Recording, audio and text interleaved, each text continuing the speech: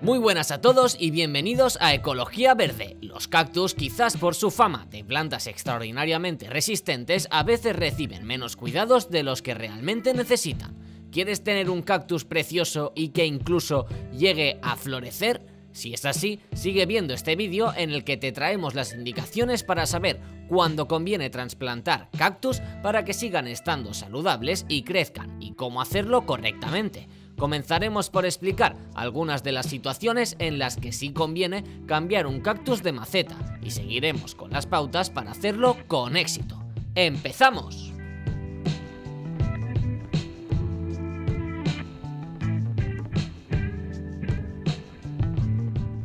¿Cuándo trasplantar un cactus? Existen varias situaciones en las que conviene cambiar los cactus de maceta. La primera es que ésta se haya quedado pequeña, lo cual podrás saber por qué. Las raíces de las plantas son visibles por los agujeros de fondo de la maceta o la copa del cactus sobresale mucho por el borde de la maceta, especialmente en caso de que sea uno de tipo bajo y algo ancho.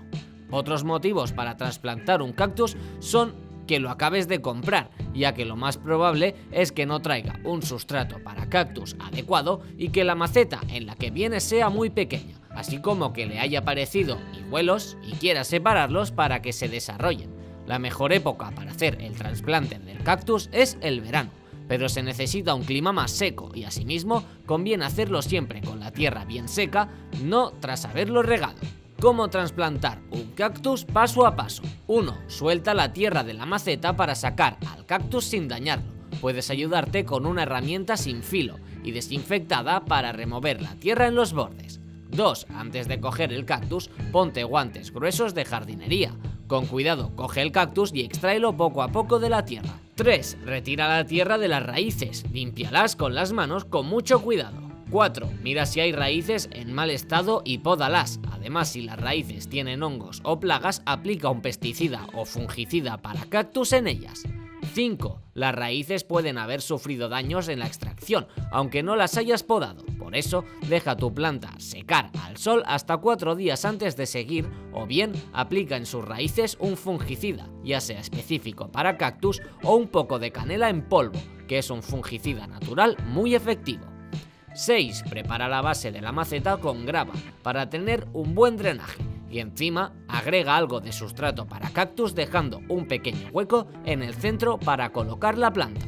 Y 7. Pone el cactus en el centro con cuidado y sujétalo con una mano, mientras con la otra va rellenando la maceta con tierra, hasta ocultar del todo las raíces y ver que este se aguanta bien. Cómo trasplantar un cactus hijo paso a paso. 1. Extrae el cactus hijo con cuidado del cactus grande. Si te cuesta separarlo, usa un tenedor o un cuchillo sin filo con mucho cuidado y usa siempre guantes gruesos.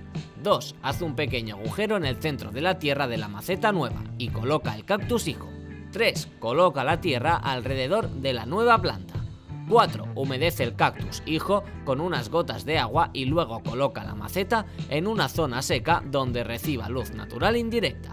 Y 5. Acuérdate de reponer tierra al cactus grande para cubrir el hueco que ha dejado el hijuelo. Consejos para trasplantar un cactus.